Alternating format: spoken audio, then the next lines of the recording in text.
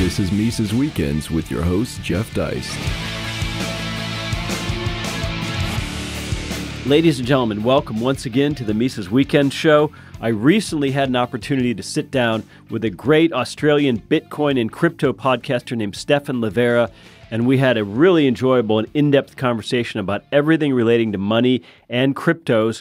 We get into Austrian economics, Mises, Menger, deflation, and so called money hoarding. So stay tuned for a great interview.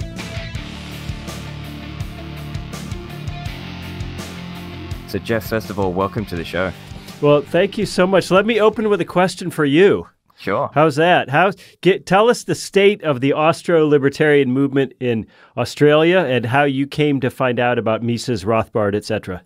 Ah, this is an interesting. Okay, so I would say the scene in terms of Austrian libertarianism in Australia is relatively small. How I actually found it, uh, funnily enough, I was I was a kid. I was sort of 14 or 15 years old, and I was on an IRC channel, and some guy in an Oz Politics IRC channel linked to a Mises Daily article. And he hmm. would regularly link to those. And at the time, I was a kid. I thought, oh, what is this crazy anarcho capitalism, Austrian economics thing? But then over time, I actually started to read that. And as I understood more around that, that was what sort of started me going down that rabbit hole of then reading, you know, the greats such as Mises and Rothbard and Hoppe. Well, I'm glad to hear it. I'm glad you've stumbled across this. yeah, no, that's that's that's exactly it. And I think Bitcoin is something that well, Austrian economics is something that's helped understand um, Bitcoin in some ways. So, so Jeff, um, a couple months ago, I think this is around August 2018, you actually interviewed Saifedean Ammous on his book, The Bitcoin Standard. So, let's start off with a little bit on your thoughts on Bitcoin generally.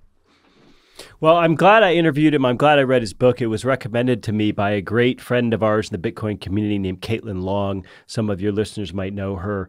Uh, and, and here's the thing what you or I think about Bitcoin doesn't really matter. At the end of the day, it's for the market to decide. And that's what's so beautiful about it is it's not a, a government issued currency and it's not issued by any big institution, it, it, at least in by design. It's starting to have some problems, but by design, it's a peer to peer network uh, with a currency sort of glommed on top of it. So when we say, well, is Bitcoin money or does Bitcoin work well or is Bitcoin uh, fiat or is Bitcoin susceptible to this or that? Well, you know, all these are questions for the marketplace. And whether people want to use blockchain for all kinds of things, whether they in particular want to use Bitcoin for monetary exchanges, whether they want to use some other coin uh, instead of Bitcoin, I would I would uh, side with Saifedean on that and say probably not, but that's a matter of very uh, vocal opinion on both sides. You know, these are all questions for the market. No, no one person can decree anything, and so none of us can decree its money. Uh, and and that's both the that's the beauty of it is that it's something that is arising in the marketplace or, or attempting to arise in the marketplace. So, you know, all of us who are libertarian minded are worried about central banks. We all wake up in the morning and say, "Oh my God, these banks are completely out of control. They're uh, you know putting liquidity into places in the market where it shouldn't uh, exist."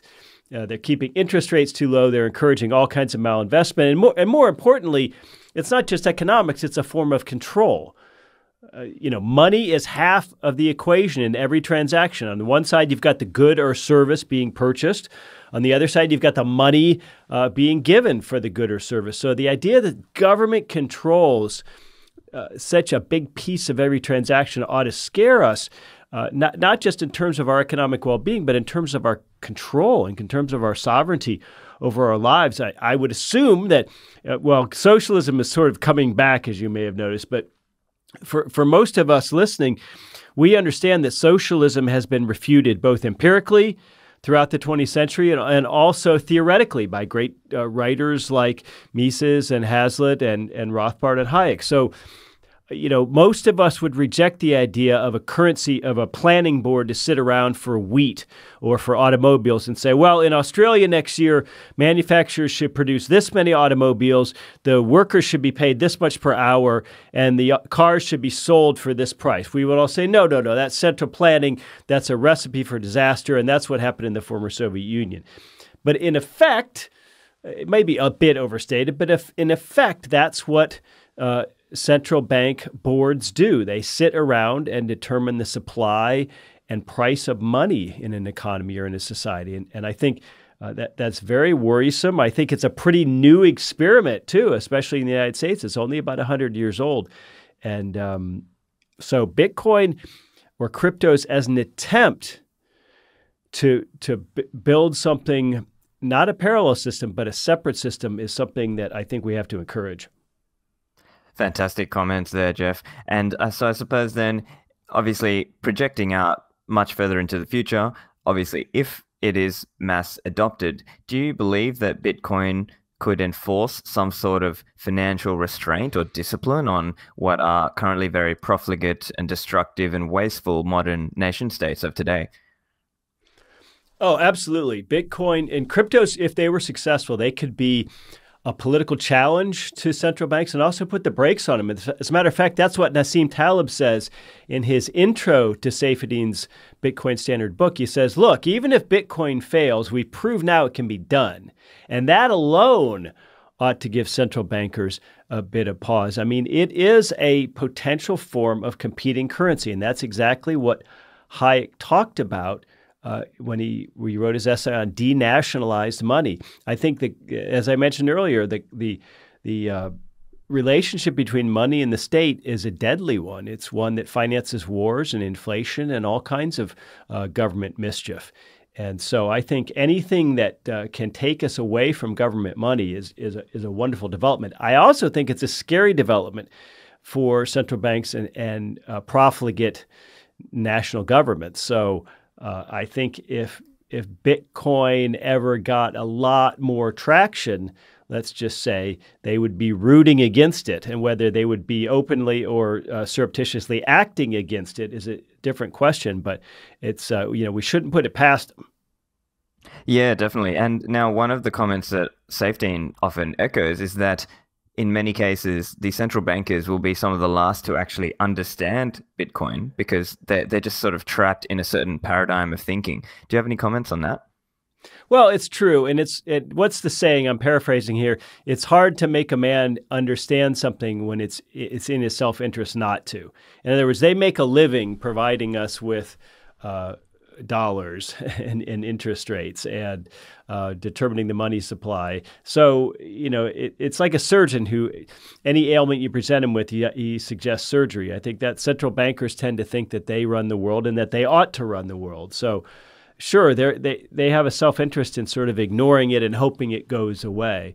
And if they can't do that, we've always we've already seen signs that they'll attempt to co opt it. Uh, certain countries have said, well, maybe our national bank will issue a crypto. And then, even if it's one step removed from the, a national government or a national central bank itself, if you just go over to the investment bank houses, which in the US are basically almost cousins of the Fed, the primary dealers who avail themselves of new bank reserves first.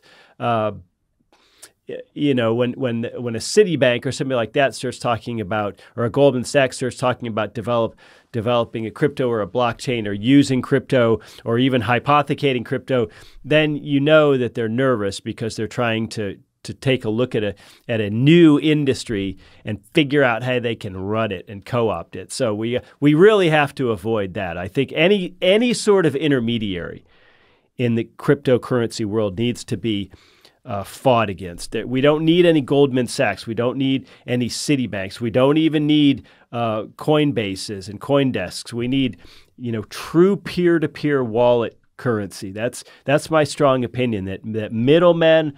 Uh, brokers, Mount Gox is one example. Middlemen are bad news, and they go against the whole point and the whole purpose of cryptos. Yeah, that's actually a really well nuanced take. I think many um, Bitcoiners many of the more hardcore Bitcoiners would really agree with you there. Whereas a lot of the people who are not so steeped in sort of the philosophy and the ethos of Bitcoin would be more sort of comfortable with trusting the third party, let's say. Yeah, and we see where third-party financial intermediaries have gotten us. exactly. Right in the past hundred years or so. I mean, banks aren't most people's favorites, and uh, the sad part about it is that they aren't even lending on actual savings of local people. And it wasn't that long ago, just a couple generations ago. I mean, uh, p- people really lent money based on someone's, based on how much money they had to lend. And there were small local banks. And somebody like my great grandfather uh, obtained a loan because his he was known around town and he you know people thought he was trustworthy or whatever and he had a you know halfway decent job uh, and so we're so far removed from all that when we're in just in this this era of digital money and this this era where uh, central banks can create dollars out of thin air, use those to purchase bank assets and inflate their balance sheets. Um, you know, we're we're in, we're so far removed from what banking was ever meant to be that, uh, that, that, you know we really have to say that it's that we, we have to just get rid of it. I don't think there's any saving the the banking systems in as corrupt as they are, at least in the West. Right, and I think um, sort of uh, related question that just came to my mind now. Uh, one of the great Austrian monetary scholars, Guido Hülsmann, has spoken about how in the past, under a sound money standard, there actually wasn't as much. There was some level of credit, but it was more. It wasn't so much like as much of an extending loans as what we have now, but it was more like extending c- commercial terms to a business. So let's say, um, you know, uh, I'll give you these goods and you pay pay me within 30 days, that kind of thing. Do you have any comments on what we might see from a debt versus equity sort of worldview if we move to a more quote unquote hard money standard such as gold or Bitcoin? Well, I think we'd see a lot less debt.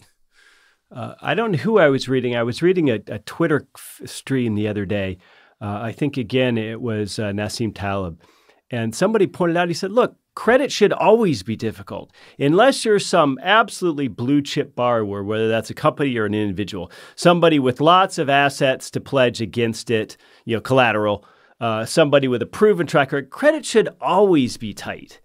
Cre- credit should always come at, at a at a fairly uh, stiff rate of interest. If we think about it naturally, I mean, people loaning money that they might not get back, and not only risking not getting it back, but foregoing that what they could do with it here and now, you know, that should always carry a price if we just think about it in human terms. We, we prefer money today to money 10 years from now. We, that's why nobody wants their dream house when they're 90, right? You, yeah. you want your dream house when you're 40. So you might borrow some money to get it, and that's okay as long as everyone's uh, willing to do it. But the problem is, of course, is that central banks have come in and made uh, the the process of borrowing and lending so so different than it would be otherwise. But I think we'd see a lot more things like our grandparents saw. I think we'd see uh, 15 year mortgages would be the norm for example, with with at least 20% down and no more than let's say 3 times no loans no greater than let's say 3 times household income. That was a pretty standard arrangement not that long ago and it turns out that when you loan people money and they've got 20% down, default rates are much much lower. I mean that because of skin in the game, people stand to lose money.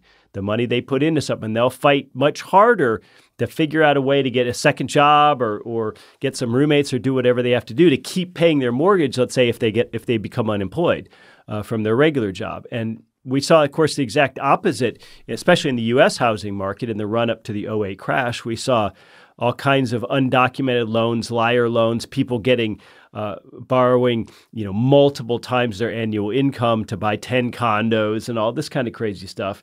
And you know, none of that would happen in my opinion, in a rational market based lending system. It would just be a lot harder to borrow money. And a lot of people don't want to hear that. They would, uh, our neoliberal friends would say, oh, come on, that's just going to be a huge drag on the economy and we'd all be poorer. Well, if what we've got today is prosperity, it's a false prosperity. It's, it's sort of like saying, well, I had a $10,000 limit on my credit card. I had nine grand charged up. Uh, but then they sent me a letter that said they're raising my credit limit to 20,000 so I now can go out and charge $11,000 more. Well, in that period where I'm charging that additional 11,000, my neighbors might look over and say, "Wow, he's doing pretty well.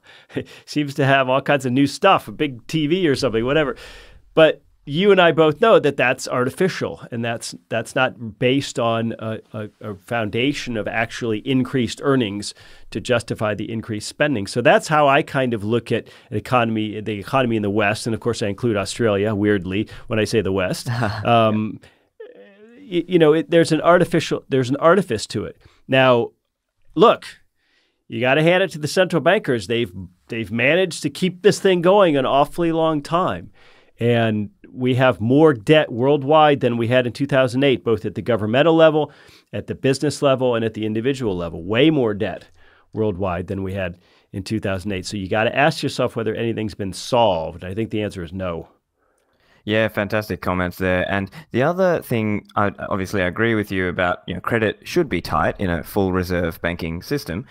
However, some difficulties I sometimes face when I'm trying to explain this kind of system to people is they think, oh, but how would I afford this house? Because housing is so expensive. But then uh, ultimately, we have to understand that actually using Austrian economics, we can sort of try and understand the world and understand why many of these things are overpriced as they are now. Well, sure, there's no question that prices prices always adjust. But there's more of a almost a moral or cultural question involved. If you read, uh, you mentioned Dr. Guido Hülsmann. If you read his books, The Ethics of Money Production, which I think is free in HTML form on our site, The Ethics of Money Production. If you read that book, you start to realize that maybe we have bigger houses and fancier cars and nicer vacations than we deserve. I mean, nobody wants to hear that. Nobody wants to hear austerity. But what if that's the case? What if uh, things are artificially swollen in our economy, that I guess you could make a weird argument that that's a great thing and that central banks and, and in tandem with fiscal policy have sort of created a prosperity that wouldn't be there. But the flip side is, is if it all comes crashing down, um, you haven't done anyone any favors. You just sort of fooled them. So there's, you know, we talk, we think of these things in financial and economic terms, but there's a there's a much bigger society and cultural component to it as well. Yeah, exactly, precisely that. And um, look, so I think there are some relevant things for Bitcoiners that they can learn from Austrian economics. There are many key concepts that I think uh, apply. So, are there any key concepts where you believe Austrian monetary theory can help a person understand Bitcoin? Well, of course, I definitely think there are, and this is it's great that you brought this up because again, there was another Twitter feed, the uh, Twitter dispute going on the other day about whether someone needed to know any Austrian economics to properly appreciate Bitcoin. A lot of people were arguing yay or nay. I kind of agree. I don't think you have to know much about economics or, or in particular Austrian variant of economics to appreciate uh, what cryptos could be. Uh, I think you could just uh, be wary of banks and wary of the state. I mean, that said, clearly uh, Menger's ideas about the origins of money, that it arises uh, as a commodity with some sort of pre-existing use value, uh, is is definitely uh, applicable here. There's I, am not really interested in the nuts and bolts or the weeds of the the argument about whether or not Bitcoin satisfies Mises regression theorem and and just very briefly, the regression theorem is the idea that if we go back far enough, uh, Bitcoin or any other money would have had some use, some pre existing use other than as money itself. It would have had a commodity use. And some people say, well, Bitcoin is just an electronic network and it wouldn't have had any use. And then other people say, no, no, no, the technology itself, uh, the ability to conduct transfers um, with a ledger, that, that technology is the value. That's the underlying value. And so we can't just be thinking in terms of you know the old analog world and physical things as commodities that in the new world there could be an intangible thing that's a commodity i, I, I guess i'd lean a little bit towards that latter view but uh, i'm not worked up about it because again as i mentioned earlier whether bitcoin is money is up to the market to decide uh, it's not it's not for us to decide by by arguing and, and yeah, hashing yeah. it out. It's it what our opinions don't much matter, um, and we don't want big opinion makers when it comes to cryptos. We don't want certain people with lots and lots of crypto who can sort of move the market and, and make arguments one way or the other. We want it decentralized. We want it spread out. We don't want a hub and spoke. We want a loose sort of spider web network when it comes to crypto. So yes, I think I think Austrian concepts of the origins of money uh, um, in Menger. I think Mises' his regression theorem.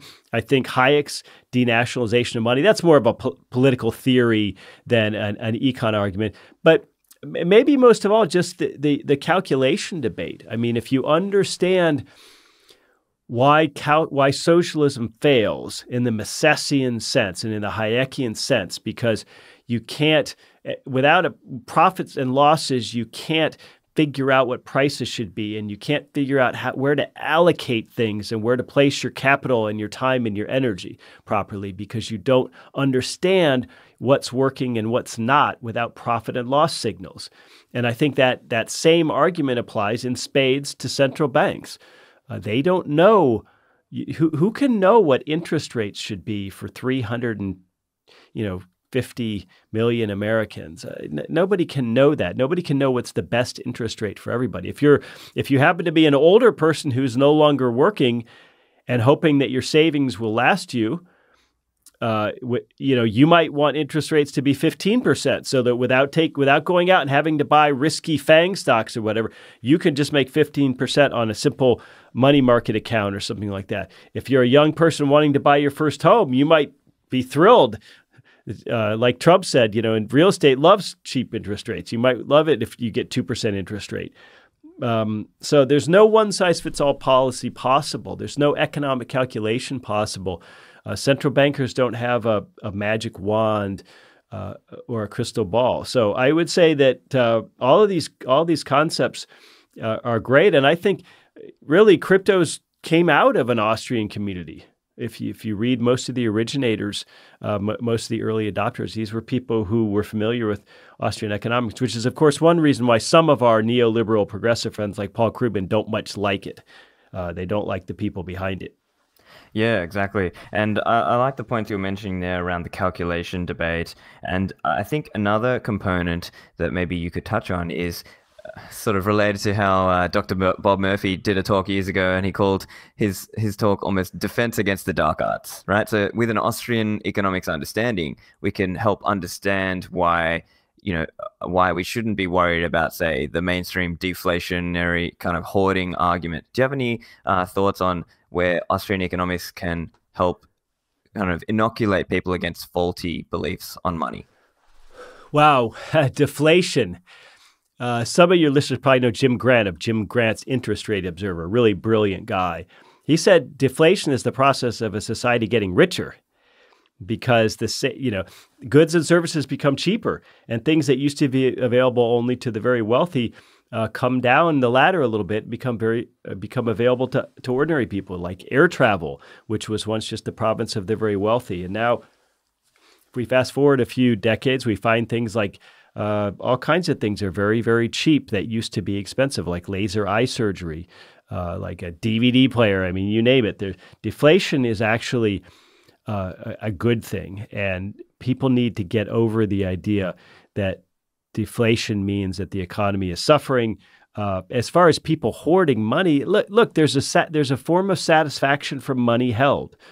If somebody is, is hoarding money, that that generally tells you a couple things. One is that um, they fear uh, the future, so they want to have some money put aside, and maybe they fear the banking system if they if they're literally hoarding it at home, but presumably they're hoarding it at a bank.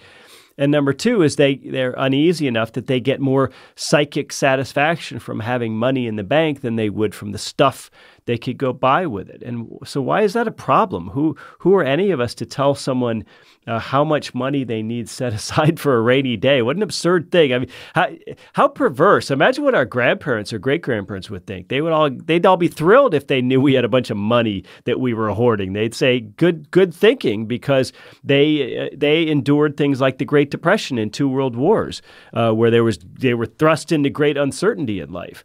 So I don't I don't buy this hoarding business at all. That's uh, that's nobody's business. None of us has a responsibility to get up in the in the morning and stimulate the economy with all of our spending. And if you want to look at that on a big picture scale, a macro scale, the, the Keynesians are just wrong. You don't create a, a better economy by by encouraging people to using fiscal and monetary policy to go buy stuff. You don't need to stimulate demand. We all want stuff.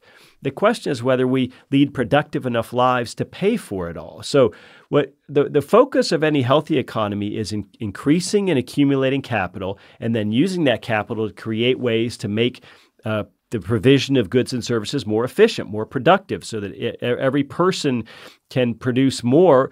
Uh, we, we, in a roundabout way, get a higher and higher standard of living as a society. So it's it's saving money through via profit and capital accumulation, and then deploying that capital that makes us rich, not spending.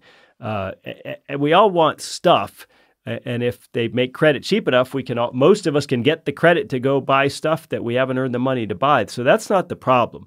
The problem is is creating an economy that's more productive per capita, and that's not harmed by uh, people holding on to money. Yeah, fantastic thoughts. Um, okay, so Jeff, you were touching on this earlier, p- potentially with uh, some of the comments around the re- regression theorem requirement for physicality. Um, just curious, do you have any thoughts on why there is a slight split between some Austrian economists who are more bearish or anti-Bitcoin versus some who are not necessarily, you know, think it's going to go to 10 million or whatever, but some who are more open to the idea of Bitcoin? well, that's, well, but one a, a short answer is age. Uh, the boomers tend to be a little more skeptical, and the, the millennials tend to be uh, a, a, lot more pro. I'm stuck in the middle as a Gen Xer, so I'm I'm pretty pro uh, crypto, uh, but I don't I don't focus on it, and I, and I certainly don't think gold's going away. I think gold will always play a role in the in the world economy, and I think if you doubt that, ask yourself why central banks hold so much of it. And a lot of central banks around the world are increasing their gold reserves even as we speak. The reason they're doing that is not because gold is super special or it's some magic metal. It's just that it has always served as a store of value in uncertain times. And so, even if it's just this lump of metal that sits there versus its much uh, sexier modern cousin Bitcoin, uh, it still serves a purpose of dealing with uncertainty because for all of our great talk about monetary policy, nobody really knows what's going to happen. And that includes brilliant central bankers and quants who went to Ivy League colleges and Wharton. Uh, so, in response to that, the, the thing to do is to is to, to hold some assets that in the past, with the the, uh, the best knowledge we have of history, have have held their value when things got a little sideways or a little rocky or even a little backwards, and and gold still serves that purpose. So I'm not uh, I'm not somebody who likes to dismiss gold and gold bugs, uh, you know, out of uh, some sort of feeling of superiority or something like that. I think that's that's foolish, and I I think uh, a gold standard could still be a great thing for the world. I'm not sure that we'll that we'll ever get close to it, but.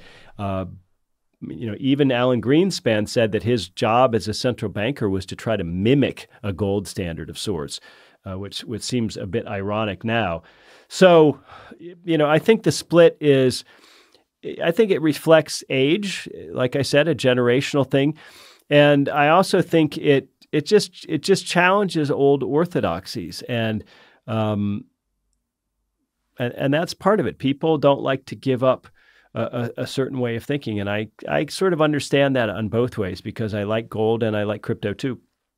Yeah, no, I think that's a, a, very insightful commentary to add on the topic. I think some within the Bitcoin community uh, I look, I think I'm sort of partial to this idea that gold may hold some level of you know store of value in the future.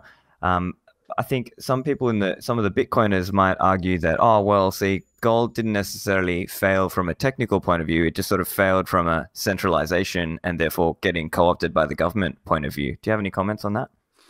Well, sure. It it, it I don't think gold has failed, but it's the you know government's made it difficult. There are there are legal tender laws. You can't go pay your taxes or other bills in gold, for example, um, and and also gold is not that.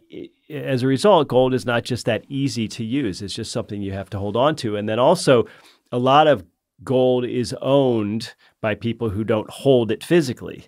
So there, so you've got this metal, and all of a sudden you've got a counterparty risk uh, and that could be something as simple as your local bank and with its safe deposit might not let you in one day or might have a bank run. Uh, or, or, something much bigger where you've got your gold held abroad or or it's just in a gold money account. Um, it's not in any way, you know, it's commingled with other with other gold, and uh, you know, you never really know about or see the physical. So there's, you know, gold became an asset, almost like a stock or bond for a lot of people where they don't hold it physically. So that that can be a big problem. Um, and, and, you know, like you said, it just sits there. It doesn't pay any interest. It doesn't uh, you know, issue dividends. Uh, it's just, it really is sort of a, an insurance policy. And of course, the irony, oh, like it is with regu- like with regular life insurance, let's say, is that okay, insurance is a good thing to have in a rainy day, but in a real deluge, uh, insurance companies would go under and you wouldn't get paid. In a real deluge, you might not be able to use physical gold for anything. Um, so it's it's just one of those imperfect approaches where we have to say, look, there's never been a time in human history where gold wasn't worth something. There's never been a time in human history where grandpa died and left us some gold coins and that was a bad thing. Uh, but there have been times in human history where grandpa died and left us a bunch of worthless stock certificates for a company that doesn't exist anymore. So, you know, the anti gold arguments, all I can do is shrug my shoulders and say, who am I to say I'm better than people for, for thousands of years who have given it value? Um, you know, that I'm not, I'm not uh, interested in bucking that. Sure, sure, and I think uh, that's that. Like you were mentioning earlier with Nassim Taleb, that's very much like that whole uh, concept of the Lindy effect. This thing that because it's been around for so long, it's more likely to now continue to be around for longer. It's the best we can do, you know. And so much of this is is uh, muddling through. I, I really think oftentimes libertarianism is just private solutions uh, and, the best we can do, and better than government, but not perfect. And I think better, not perfect, ought to be our rallying cry, as opposed because it, it helps us not only sound like, but also steer ourselves away from utopian thinking. Yeah, I think that's a very insightful comment as well. Great way to explain it. Um, let's switch gears a little bit, but on this same idea of better but not perfect, maybe. Uh, something I really admire about the Mises Institute is that it doesn't try to be a think tank or a Beltway Libertarian Institute, but rather focuses on education and keeping the message true to libertarian private property principles. And I think it might have been, uh, I'm not sure who, I think it might have been Lew Rockwell who explained it as this concept of doing an end run around the state. So maybe you could just comment a little bit on that educational strategy and the results so far. Well, we're definitely not interested in public policy. We don't think there ought to be public policy. I don't think we need a housing policy or an oil policy or a Bitcoin policy or anything else. I think the market can can work these things out. So I, I personally find the term public policy uh, problematic, to use the awful parlance of our time. problematic. No, it's just awful. I mean, public policy, and, and anyone who, who uses the term unironically, I think they, they really come across sounding pompous. Don't you agree? Oh, you know, public policy. Oh, come on. I mean, the last thing we need is a bunch of 28 uh, year old liberal arts majors deciding how society should be organized at think tanks. You know, that what we need is humility. Uh, even even in the libertarian world, but especially outside the libertarian world, there's just hubris everywhere, and social media really intensifies that. It really uh, encourages us to be uh, dogmatic and uh, to absolutists and to, to, to, sort of cross our arms and say we've got all the answers. And of course, liberty is about, is all about saying we don't have all the answers. That's why government's so dangerous. Nobody ought to be in charge of organizing millions of people's lives. It's a recipe for disaster. So I really think libertarianism is a humble doctrine. I think it's a it's a, a doctrine of, of humility and, and letting private solutions, local solutions work. And so I, I hope anyway that that we apply that at the Mises Institute and say, look, there's there's some brilliant thinkers out there who um, a lot of whom are dead, some of whom are still around, some of whom are just coming up, and you ought to be reading and learning from them, but you're not going to get them. Uh, in your public schools. You might not even have econ in high school, what we call high school. Uh, you might not have it in undergraduate. And even if you do, uh, you won't get very good economics. And even if you go to it, get a graduate degree or a PhD in economics, you might not hear a single word about Mises. You might not hear anything about the history of economic thought. Um, and, and, this is often the case with the aforementioned brilliant uh, young economists, Ivy League economists who populate the Federal Reserve Bank staff, for example. Uh, so we're really here to just be a, a, a private school of sorts, uh, an end run around this this uh, academic gatekeeping that wants to to, to uh, decide what kind of econ is taught, what kind of I don't like the term mainstream, but current mainstream economics because it wasn't always the case that we that we thought stimulating demand was the be all end all, and and by being a kind of an alternative school, we can we can be uh, exactly as much or as little as any particular student needs. In other words, some of our students are long haul truckers who have Sirius XM radio in, in, their cab and can listen on the road. Some of our uh, students, if you want to use that term, are stay at home uh, husbands or wives, and they uh, you know listen uh, at home. And some of our students actually come here and be you know when they want to be a summer fellow with us and they want to get really deep into it and use our library and, and research, and then they say, oh my gosh, I love this stuff, and I want to go be a, a PhD economist. So they actually you know go off to, to some university and do that. But some people just want to follow our twitter feed and maybe occasionally click on an article or two and and just by doing that they know more economics than they otherwise would. So we want to be there for any kind of student any age any point in their life where they can just uh, consume as much or as little of our free content uh, as they desire. And and um, you know, we ha- we hope that we strike a chord with some people, and we do our best to do so, uh, with the understanding that we're probably never going to be a majority or or mainstream view. That's just that's just sort of the way it is, at least at the present moment. I think we have to accept that and, and not water things down to try to be bigger, because I think that never works.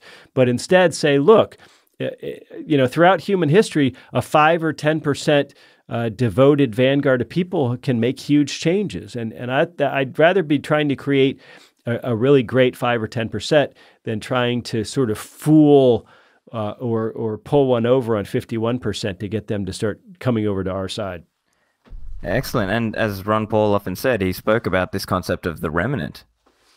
Yes, it's it's a bit of a loaded term, but it's true. Um, and what's so funny is because of baby boomerism, no offense to anyone, um, the remnant is actually younger today. Uh, and and I found this out working for Dr. Paul. Sometimes a uh, a parent would come in with their 22 year old college student uh, son or daughter, and it and it would be the son or daughter that got them interested in reading some some Ron Paul or some Austrian economics or whatever it might be. It wasn't the parent influencing the child; it was the other way around.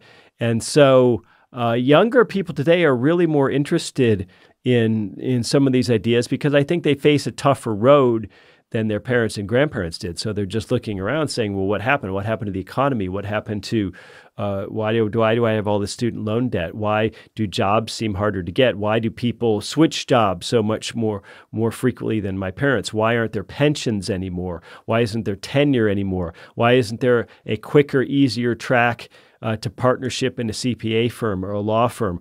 Why isn't being an MD uh, nearly as good as it used to be? You know, all these things that that were so rock solid for the parents and grandparents are sort of shifting sands for them, and as a result of that. Uh, younger people are interested in these ideas. They're also interested in socialism, unfortunately. It's a double edged sword. But the bottom line is they're searching, and it's up to us to do the best we can to, to help uh, with the narrative and, and hopefully pull some people over. Fantastic. And now, on this topic of education, I've noticed that some people who come into Bitcoin, they then become more interested in learning Austrian economics. So, do you have any ideas on how these people can best learn? And do you have any suggested resources or book recommendations from the Austrian school? Well, yeah, absolutely. I think, you know, if you read The Theory of Money and Credit, which Mises wrote, it's really his first full length book. He wrote it at about the age of 28. So it's, over, it's a little more than 100 years old now. And I swear there are so many sentences in that book that just jump right out of you that absolutely apply today.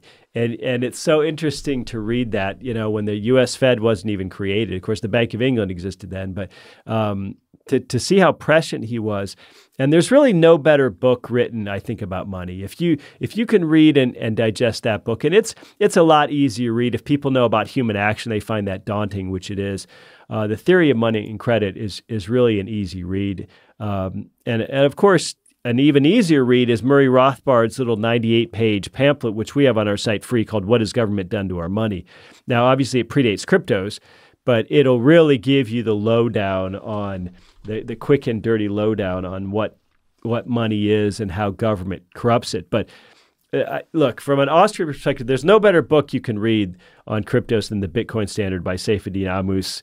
Uh, and not only does it explain cryptos, but it also gives you a little mini history lesson about money, uh, about, uh, about about and about Austrian economics. It's it's really a fantastic book. It's not super long.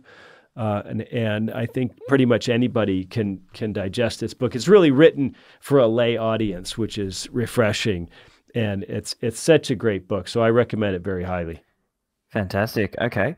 Um, look, I think that's pretty much all we've got time for. So if you've got any closing thoughts, and also just tell the listeners how they can find you and find the Mises Institute, and also just if there's anything to keep an eye out for, you know, that's coming up from the Mises Institute. Well, we're working on on uh, some fun stuff this year. We're, we are having events around the country, not your way, unfortunately, but uh, uh, really we're getting more and more into the podcast space because for for whatever reason, a lot of people like to consume and digest information that way. Uh, we've got some great new books coming out this year. But uh, you, you, know, just if you have some time, go to Mises.org, M-I-S-E-S.org, and look around. Uh, we've got all kinds of stuff there. You can spend the rest of your life reading some of these uh, books and papers, and and watching some of the videos we've got there. Uh, find me on Twitter. My name is Jeff Deist. It's D E I S T, so it's all one word, Jeff Deist on Twitter. Um, and uh, you can find out or keep abreast of pretty much everything that's going on at the Institute. Fantastic. Well, look, Jeff, it's been a really great conversation. I've really enjoyed speaking with you, and thank you for coming on. Yeah, it was a blast. Please have me on again. Subscribe to Mises Weekends via iTunes U, Stitcher, and SoundCloud, or listen on Mises.org and YouTube.